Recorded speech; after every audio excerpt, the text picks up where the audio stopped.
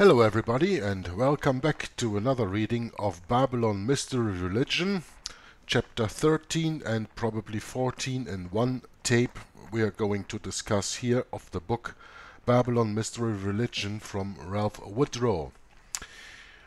Chapter 13 is called Are Popes Infallible? Hour of the Truth says no we have learned so many things, surely in the chapter before, the apostolic succession and all the other stuff, that we can for surety say popes are not infallible. So, because they are not infallible, they have to declare themselves infallible. Something that happened in 1870 at the First Vatican Council. But let's see and read and discuss what Rev Woodrow has to say to this. Are popes infallible? Adding to the many contradictions with which the Roman system was already plagued, as we read in previous chapters, there were popes like the god Janus of olden times who began to claim infallibility. People naturally questioned how infallibility could be linked with the papal office, when some of the popes had been very poor examples in morals and integrity.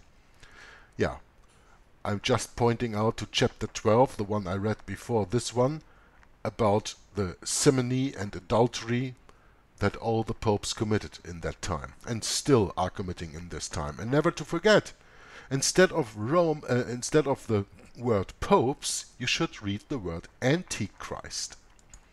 The biblical, historical and prophetic antichrist. That's what the office of the papacy and with that every human person taking the chair of so-called Peter in Rome and calling himself pope is the antichrist. And not some unknown person in the somewhere far away future the Antichrist has been here for almost 2000 years. Paul already said it, that the mystery of iniquity already works at his time in the first century after the crucifixion of our Lord Jesus Christ. People naturally questioned how infallibility could be linked with the papal office when some of the popes had been very poor examples in morals and integrity? Well, at that time, maybe people asked themselves these questions. Today, they eat everything the Pope gives them out of a spoon and ask for more. And if the infallibility be applied only to doctrines pronounced by the popes, how was it that some popes had disagreed with other popes? How was it that some antichrists had disagreed with other antichrists. Even a number of the antichrists, including Virilinus, Innocent III, Clement IV, Gregory XI, Hadrian VI, and Paul IV, had rejected the doctrine of papal infallibility. Just how could all of this be explained in an acceptable manner and formulated into a dogma? Such was the task of the Vatican Council of 1870. That was by the way run by Pope Pius IX, Pio Nono as he is also known, the longest reigning pope in the history of the papacy. The one who also put out the syllabus of errors where he condemned every human form of government as we know it today. Democracy, republicanism, communism, fascism, whatever you want to call it, and they are all founded by the Jesuits. All these government forms that we have today that I just summed up actually come out of the feather of Jesuits. And of course they infiltrate them and by that they are as controlled as the kings that were in the Middle Ages, when the Pope controlled all the kings. Today the Jesuits control all the governments through their shadow government. And if you do not play along with the agenda of the Antichrist, you are not even in politics. Surely not in a position that you can achieve anything. Always consider that when reading things like this here. So such was the task of the Vatican Council of 1870. The Council sought to narrow the meaning of infallibility down to a workable definition, applying such only to papal pronouncement made quote-unquote ex cathedra. The wording finally adopted was this. So what does ex cathedra mean? Quote, the Roman pontiff, when he speaks ex cathedra, that is, when in the exercise of his office as pastor and teacher of all quote-unquote Christians, huh? Roman Catholics read Christians in this case, he defines a doctrine of faith or morals to be held by the whole church is, by reason of the divine assistance promised to him in blessed Peter, we read about that, that he is not the successor of Peter, possessed of that infallibility, and consequently such definitions of the Roman pontiff are irreformable. Unquote. So whatever the Pope states on faith and morals and doctrine from his chair in Rome is infallible, is irreformable. He says that he is like God who cannot err because God never spoke a word and took it back. Every word God speaks, every word that comes out of the mouth of God is true. Every word that the Antichrist speaks is a lie. All of the problems were not solved by this wording. Nevertheless, papal infallibility became an official dogma on the Roman Catholic Church at the Vatican Council of 1870. Knowing the history of the popes, several Catholic bishops opposed making papal infallibility a dogma at the council. One of these, Bishop Joseph Strossmayer, who lived between 1815 and 1905, is described in the Catholic Encyclopedia as, quote, one of the most notable opponents of papal infallibility. Unquote. He pointed out that some of the popes, antichrists, had opposed other popes antichrists. Special mention was made of how Pope Stephen VI, who reigned between 896 and 897, brought former Pope For Formosus, who reigned between 891 and 896, to trial. The famous story of one Antichrist bringing another to trial is one of sheer horror, for Antichrist Formosus had been dead for eight months. So what are you going to do with a body that is dead for eight months when you're in the Roman Catholic Church? Listen, nevertheless, the body was brought from the tomb and placed on a throne. There, before a group of bishops and cardinals, was the former pope, dressed in the rich apparel of the papacy, a crown upon his loose scalp, and the scepter of the holy office in the stiff fingers of his rotting hand. As the trial got under way, the stench of the dead body filled the assembly hall. Antichrist Stephen stepped forward and did the questioning. Yeah, of course. No answers were given to the charges by the dead man. So he was proven guilty as charged. With this, the bright robes were ripped from his body, the crown from his skull, the fingers used in bestowing the pontifical blessing were hacked off, and his body was thrown into the street. Behind a cart, the body was dragged through the streets of Rome and finally cast into the Tiber.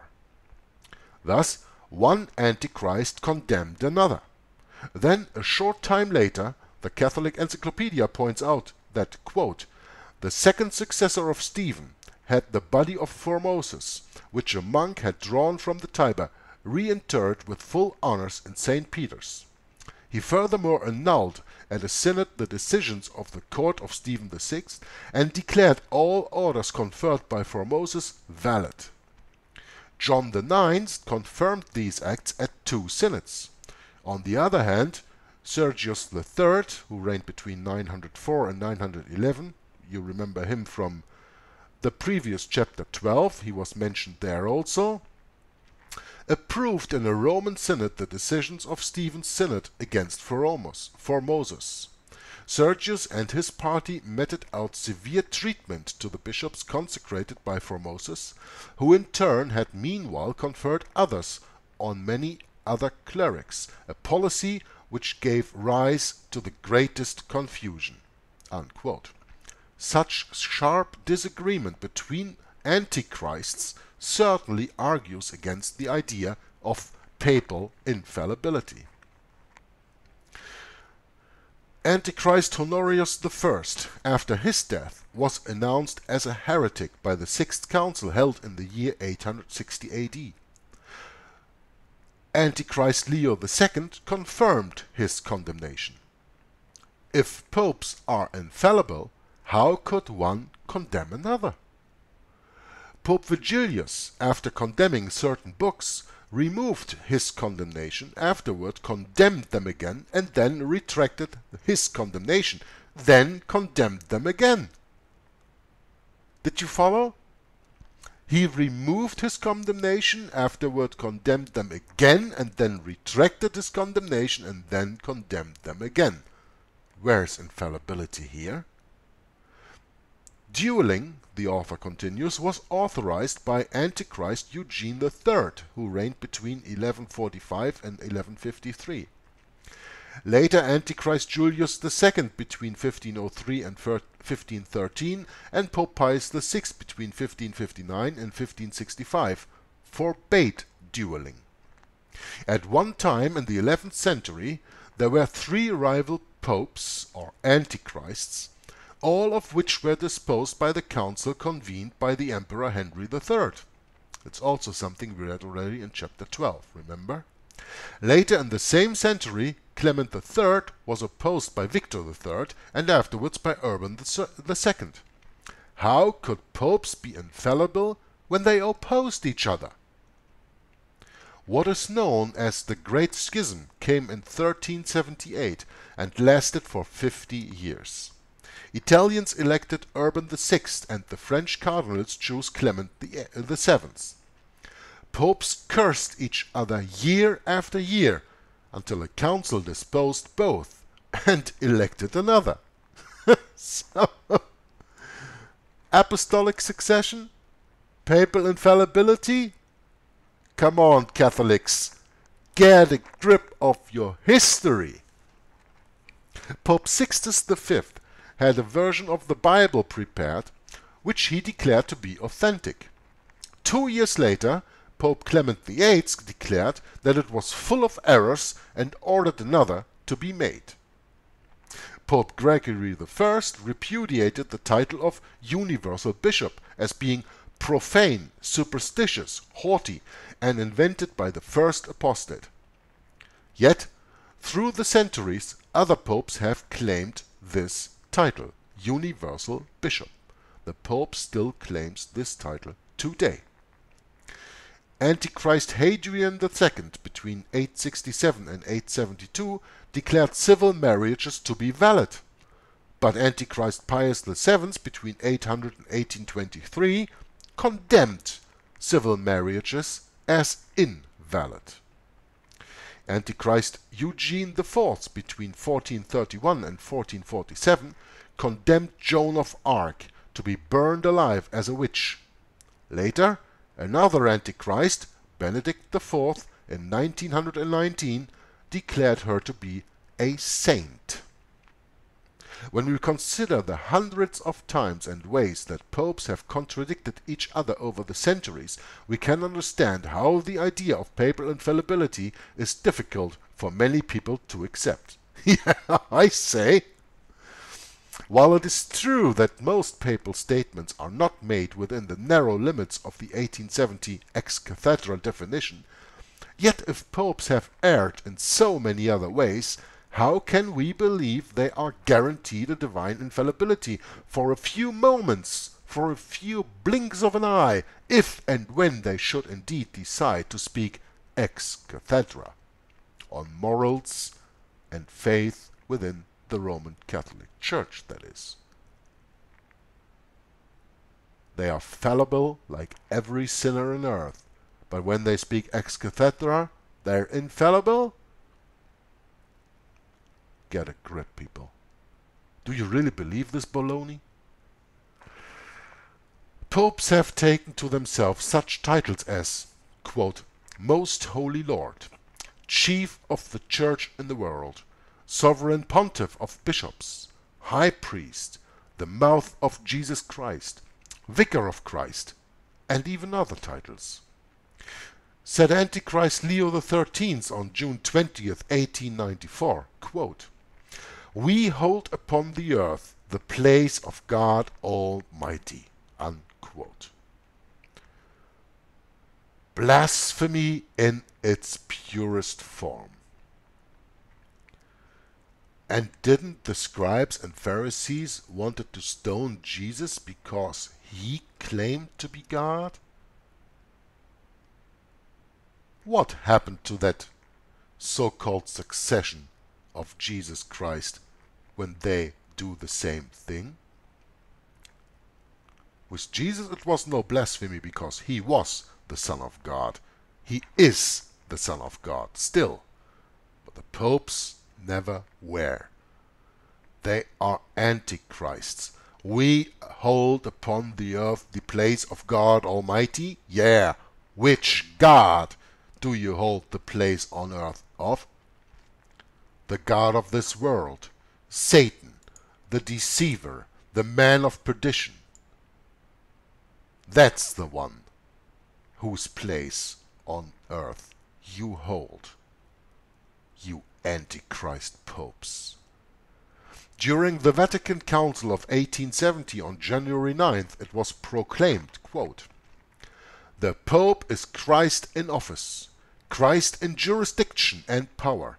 We bow down before thy voice, O pious, yeah, Pope Pius IX, as before the voice of Christ, the God of truth. In clinging to thee, we cling to Christ. Unquote. Uh, so much blasphemy in this little sentence that I don't even want to address it. But you get the notion, right? But the historical sketch that we have given plainly shows that the Pope is not Christ in office, or in any other way. The contrast is apparent. The very expensive crowns worn by the popes have cost millions of dollars. Jesus, during his earthly life, wore no crown except the crown of thorns that was put upon his head. The Pope is waited on by servants.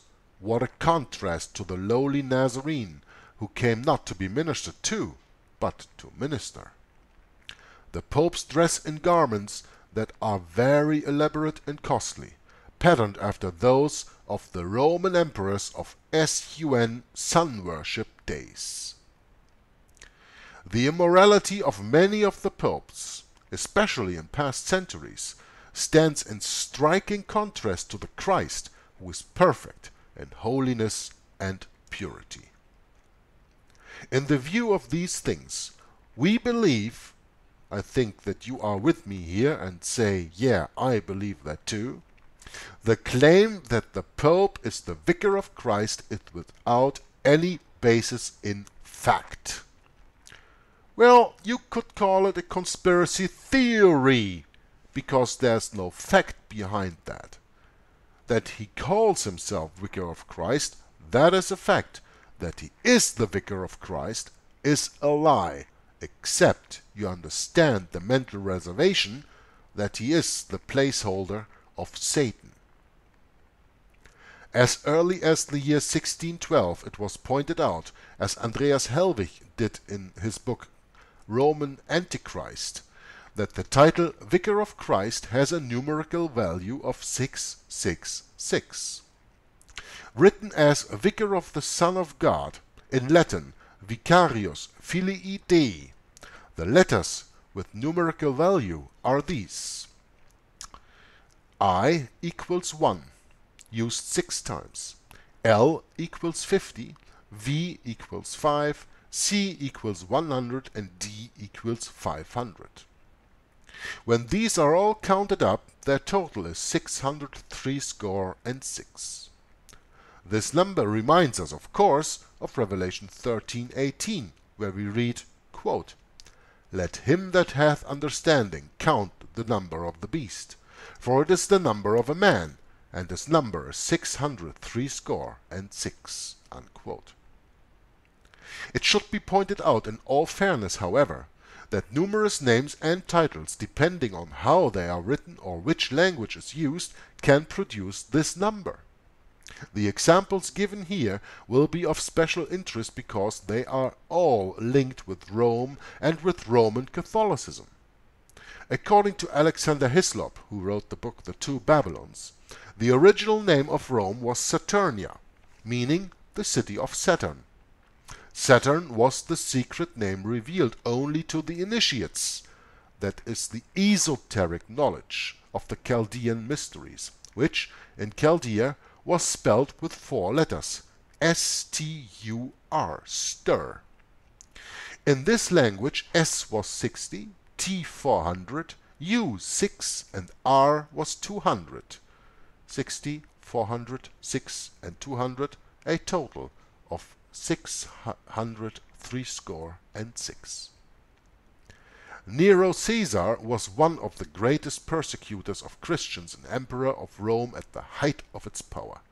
His name, when written in Hebrew letters, equals 600 threescore and six the Greek letters to the word Latinos, meaning Latin, the historical language of Rome, a dead language by the way for a dead god, or the god of death, all its official acts amount to 603 score and 6. In Greek, we are looking at Latinos now, L is 30, A is 1, T is 300, E is 5, I is 10, N is 50, O is 70 and S is 200. So 3, 1, 300, 5, 10, 50, 70 and 200 equals 600, 3 score and 6. This was pointed out by Irenaeus as early as the 3rd century. So already in the 3rd century the people could see from the titles the popes, the so-called infallible vicar of Christ, held on this earth, that this mounted up to the 666 of the book of Revelation that John wrote on the island of Patmos. The same word also means Latin man, and is but the Greek form of the name Romulus, from which the city of Rome is named. This name in Hebrew, Romeith, also totals, you guessed it, 603 score and 6. Unlike the Greeks and Hebrews, the Romans did not use all letters of their alphabet for numbers. They used only six letters. D, C, L, X, V and I standing for 500, 150, 10, 5 and 1. All other numbers were made up of a combination of these. And therefore you have to understand that the letter M that has now come to be used also as a Roman numeral representing 1000. But as E. W. Bullinger points out in his book Numbers in Scripture on page 284, 1000 was originally written as CI, with another C turned around. That is CI and C turned around. And this was later simplified into the sign that you can see here in the picture and the video, and finally written as an M. Of course, when you look at that C, I, and the C on the other way around, it looks like an M, almost like the M of McDonald's, right? It is interesting and perhaps significant that the six letters which make up the Roman numeral system when added together totally exactly 666. Let's do the math. D 500, C 100 is 600, L 50 is 650, X 10 is 660, V 5 is 665 and I 1 is 666. Turning to the Bible itself, in the Old Testament we read that King Solomon each year received 603 score six talents of gold, as we can read in 1 Kings 10 verse 14. Quote, Now the weight of gold that came to Solomon in one year was six hundred threescore and six talents of gold. Unquote. This wealth played an important part in, the leading him, in leading him astray. In the New Testament, the letters of the Greek word euporia, from which the word wealth is translated, total six hundred threescore and six. Out of all the 2000 Greek nouns of the New Testament, there's only one other word that has this numerical value. Now, that word paradosis, translated, means tradition, as we can read in Acts 19:25 and Matthew 15 verse 2. Quote, from Acts, quote, whom ye called together with the workmen of like occupation, and said, Sirs, ye know that by this craft we have our wealth. Unquote. And as we can read in Matthew chapter 15 verse 2, quote, Why do thy disciples transgress the tradition of the elders? For they wash not their hands when they eat bread. Unquote. So, wealth and tradition, interestingly enough, were the two great corruptors of the Roman Catholic Church. Those are not only the two corruptors of the Roman Catholic Church, those are the pillars, especially tradition, on which the Roman Catholic Church is built. The tradition that comes actually out of Babylon. So, are we really speaking of infallible popes here? Of infallible men? Yeah, because the church says so, that is so. You are not to question the Antichrist. You are not to question the teachings of the Roman Catholic Church. You only have to obey, or else. We continue in chapter 14. The Roman Catholic Unholy Inquisition. A very, very important part of this book. And everybody who has maybe not yet heard of it, I ask to turn to Acts and Monuments, or what is also known as Foxe's Book of Martyrs. Here we have a little excerpt of the Inquisition, and I can only advise you to go to the readings that Tom Friess did on the wonderful book from Henry Grattan Guinness called Romanism and the Reformation. When he came to the part of the Inquisition, in that part of the book of Romanism and the Reformation, it sent shivers down my spine, and you will not be able to eat while reading Foxe's Book of Martyrs. I can assure you that. The Roman Catholic Unholy Inquisition. So openly corrupt did the fallen church become in the Middle Ages, we can readily understand why in many places men rose up in protest. Many were those nobles, many were those noble souls who rejected the false claims of the Pope, looking instead to the Lord Jesus for salvation and truth.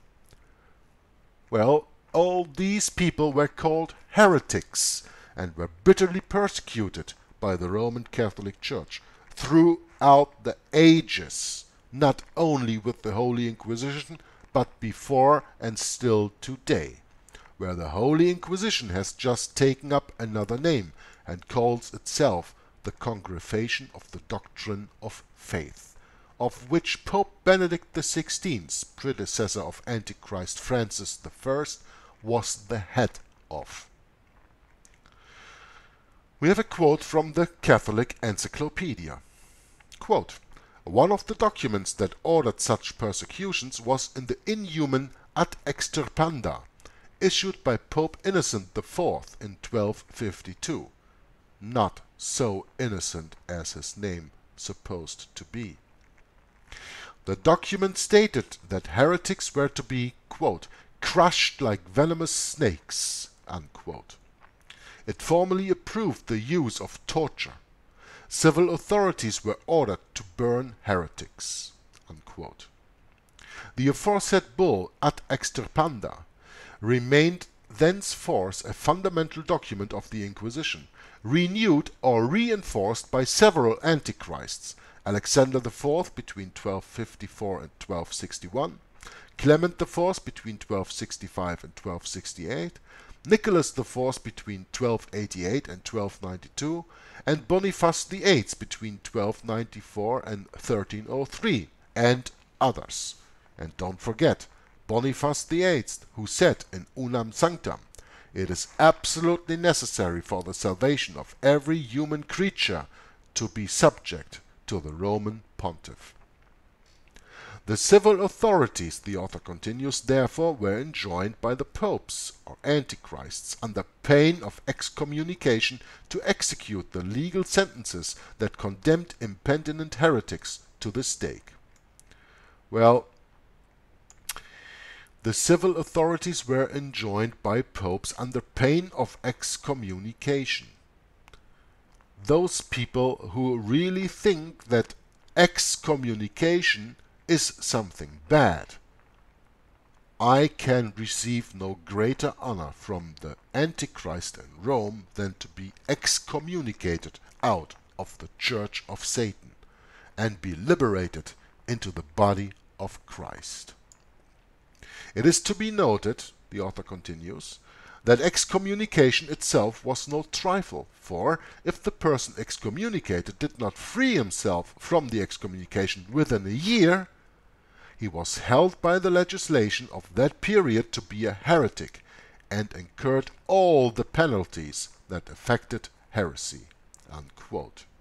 Now, men pondered long in those days on how they could devise methods that would produce the most torture and pain. Oh, I can tell you, the human mind is so inventious when it comes to torturing other people. You cannot believe it. And we will a little bit later speak about the Spanish boots, and I will include just one search link of pictures just when you enter in Google Pictures Spanish boots. The pictures that you see there are abominable. It is almost beyond comprehension. We, true Bible believing Christians, loving people, have no idea what the sick minds that are possessed with the mind of Cain can invent to bring torture and pain to all those people who do not agree with the teachings of the so-called infallible Antichrist in Rome. Men pondered long in those days on how they could devise methods that would produce the most torture and pain. One of the most popular methods was the use of the rack, a long table on which the accused was tied by the hands and feet, back down, and stretched by rope and windlass. This process dislocated joints and caused great pain. Heavy pinchers were used to tear out fingernails or were applied to red hot to sensitive parts of the body. Rollers with sharp knife blades and spikes were used, over which the heretics were rolled back and forth. There was the thumbscrew, an instrument made for disarticulating fingers, and Spanish boots, which were used to crush the legs and feet. The iron virgin was a hollow instrument the size and figure of a woman. Knives were arranged in such a way and under such pressure that the accused were lacerated in its deadly embrace. This torture device was sprayed with holy water and inscribed with the Latin words meaning glory only to God. Well, this device was sprayed with holy water. I see that I can put a picture in here. I think that is on the page of the Spanish boots, uh, the link that I will provide in the description box of the video where you can see that one part is opened and then there is put not only hot water in their holy water, no, no, no, liquid metal and liquid boiling oil, and then sprinkled above the person who is in that iron virgin at that moment. So not that the knives aren't pain enough, we also have to sprinkle these with so-called holy water. Glory be only to God. Yeah, what God can take glory out of torturing innocent, Bible-believing Christians? Huh? The God of the Bible? I don't think so. Victims, after being stripped of their clothing, had their arms tied behind their backs with a hard cord. Weights are attached to their feet.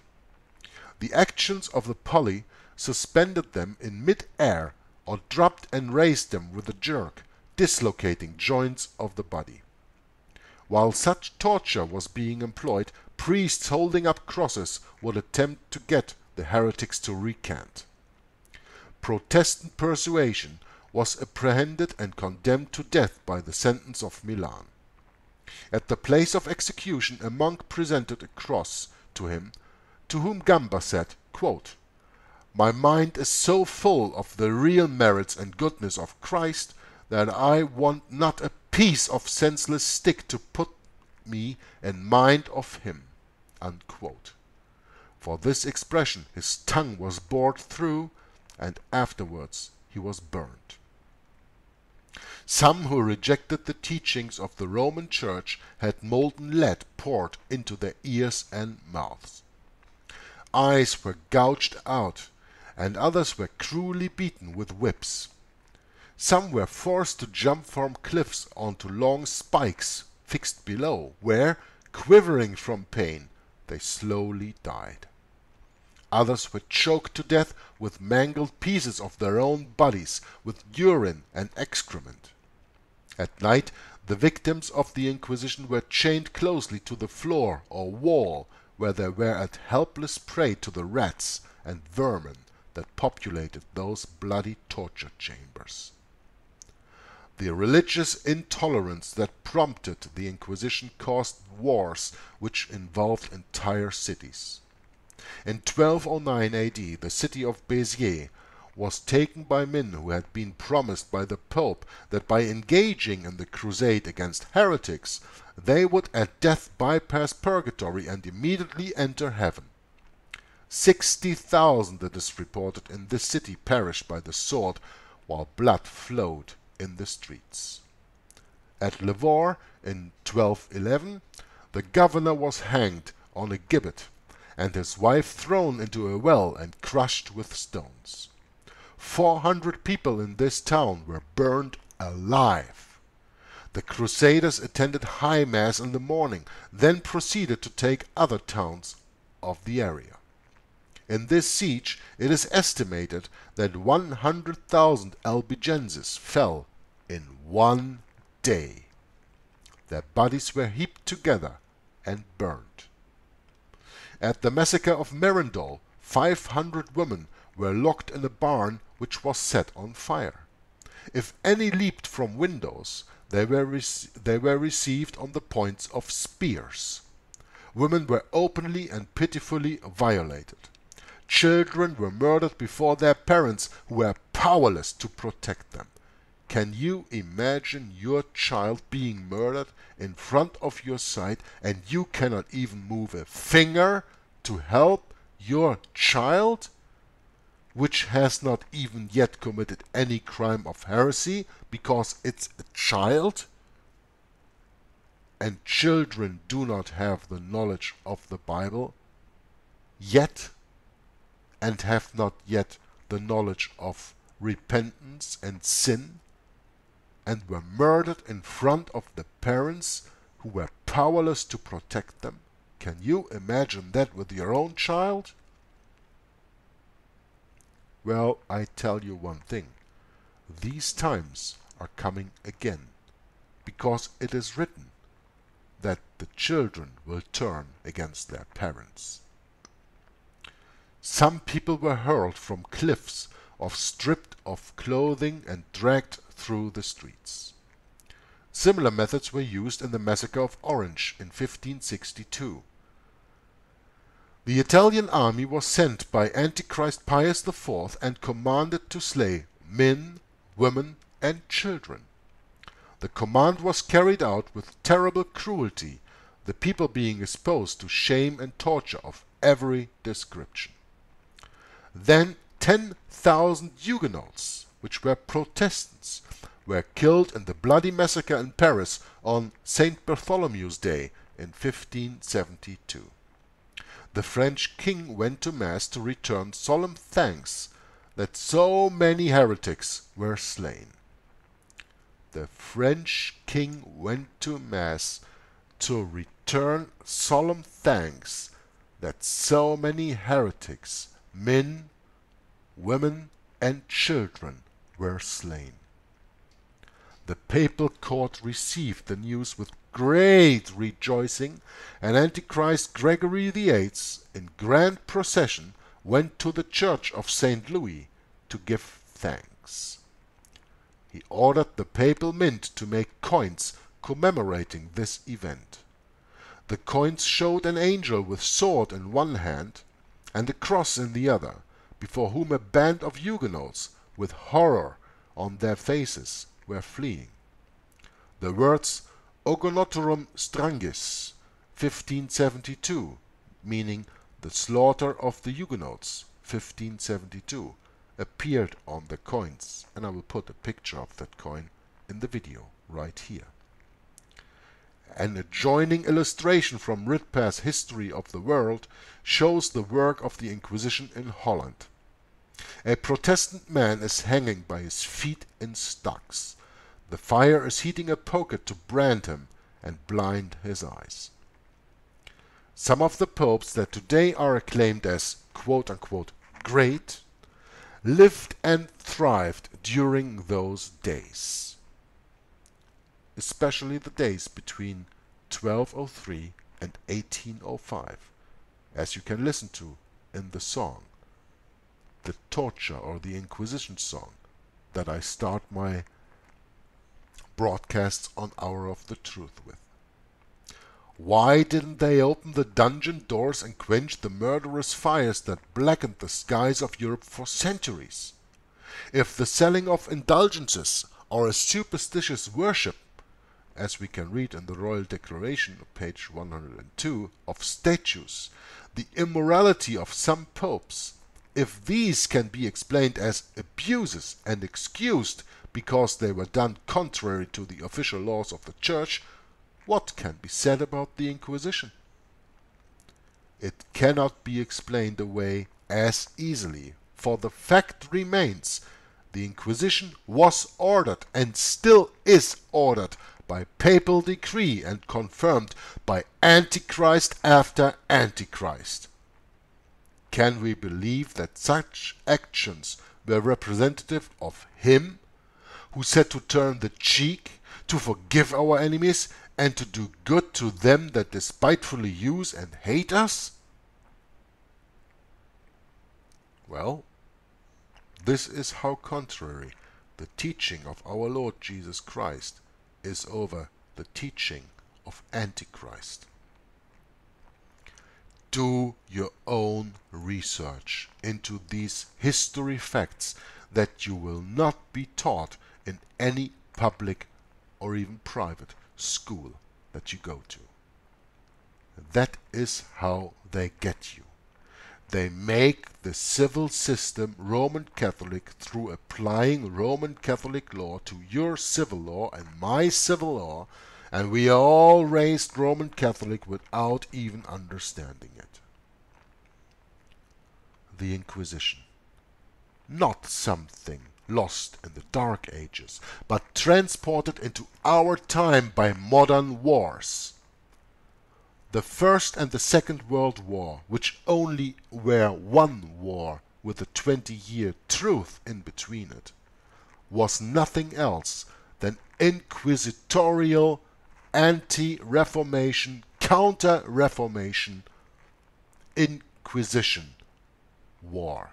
One war and Vietnam when you read the book Vietnam, Why Did We Go by Avro Manhattan was just the same thing to overthrow the Buddhists. And the war that we have today, the so-called war on terror against the Islamic states, is nothing else than an inquisition, where the dead soldiers on both sides further are just a gain for the Roman Catholic Antichrist agenda. He kills friends and foes at the same time because the end justifies the means. Meaning if the end is good, all means to achieve this end are allowed and good and of virtue. Bribery, rape, murder, torture, war, deception, lie, indoctrination, whatever means are necessary to achieve a goal for the Roman Catholic Church is honorable because in the end the church is the gainer and the end justifies the means. That is the Roman papal antichrist satanic diabolical system that I am exposing not only with reading this book from Ralph Woodrow, Babylon Mystery Religion, but with all my work that I do on my YouTube channel. And as long as I still have a breath in my body, you will hear me pronouncing the Pope the biblical, historical, and prophetic Antichrist. I am not here to make friends. I am here to wake people up to the deception they have been living in and raised in all their lives. From cradle to grave we are lied to and not told the truth.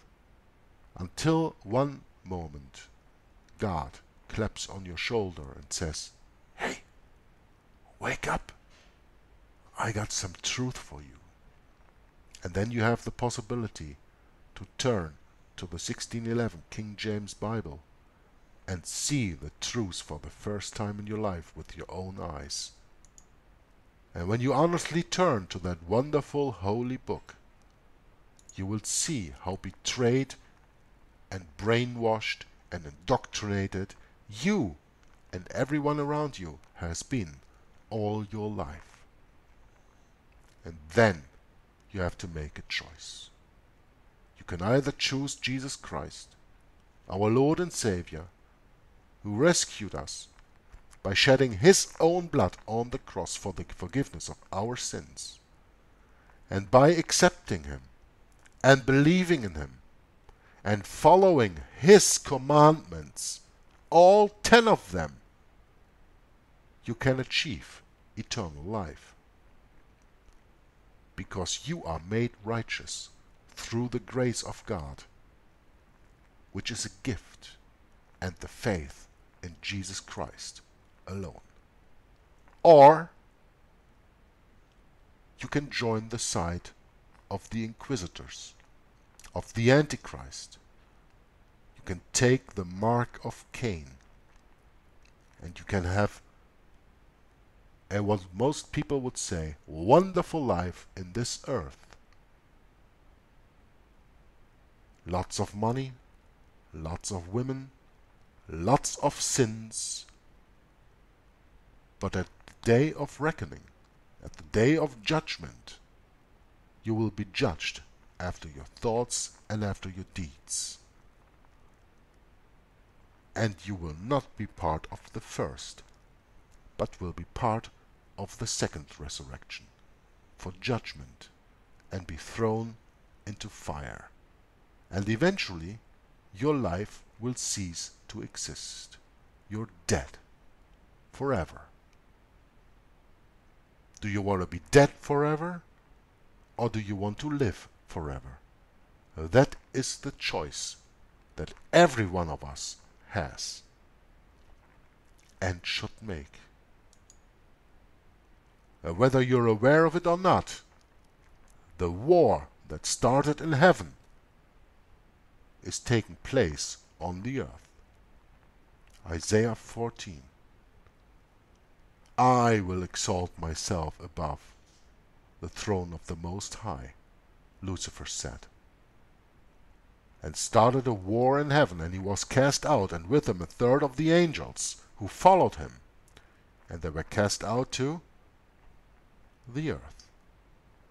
Where here today we have two kinds of people on the earth. We have the ones who are eagerly following the word of our Lord and Master, the God of Abraham, Isaac, and Jacob, and Jesus Christ, and want to do His will and His bidding.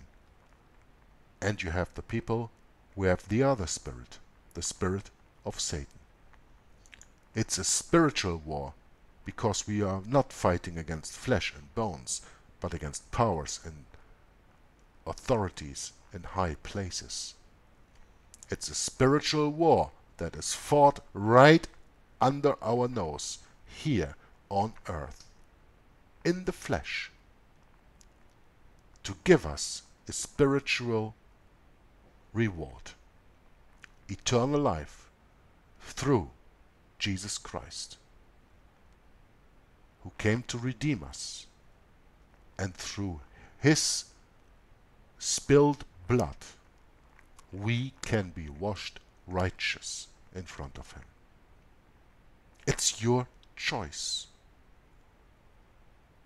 Do you want these few years on this earth to be pleasant? Or do you want the few years on this earth less pleasant and therefore have eternal life? That's a choice every one of us has to make at some point in life. And this choice is so much easier when you know, when you are aware of all the lies that you have been told through the Roman Catholic Church, through the Antichrist system. And when you see how they applied the different torture methods throughout the ages, still until today, with their roaring wars all over the world and rumors of wars and fear indoctrinating into you, that only you cling to this life. But when you cling to this life, what did Jesus say? Whoever loves his life will lose it, and who hates his life will gain it. Okay, chapter 13 and 14 of Babylon Mystery Religion and a little personal rant I had to get rid of at the end is done. So, until next time, I thank you all for listening and watching, and God bless you. Until then, Joggler66 on Hour of the Truth, signing off. Bye bye. This is the motto of the show Hour of the Truth. Rome never changes. They used to call us heretics and sent the Inquisition to kill us. Today they call us terrorists and send on their crusades. Times and methods may have changed, but the goal still stays the same. Extirpate the remnant of the true Word of God, Bible-believing people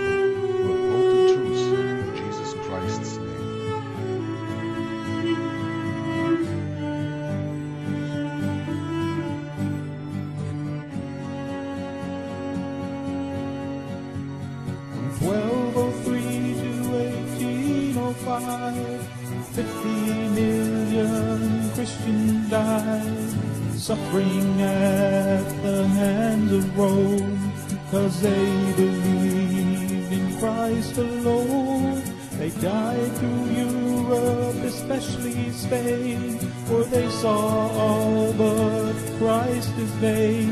He suffered by his death for men to save them from their awful sin. Six hundred years of martyred saints that history cannot erase.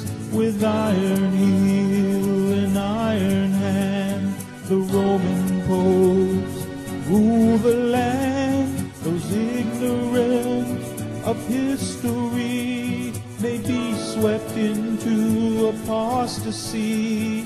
We won't be loved by Rome's sweet lie. with 50 million reasons why. Salvation is by faith alone, in Christ alone, by grace alone. A sovereign God give faith to man. Salvation's in the Maker's hand. This gospel offends Rome today. They offer up another way, a counterfeit, a compromise. Beware the ancient papal lie with such a cloud of witnesses who by grace died in their Lord. Recall their memory to say, by the same faith we live today.